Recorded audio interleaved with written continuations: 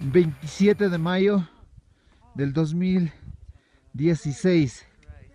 Acabamos de llegar a la cumbre del Chimborazo. Un día perfecto. Chicas, congratulations ladies. Gracias a ti. So, what do you think about this summit? Increíble y bonito. Muy lindo. Very good. So today is the wonderful day. Woohoo!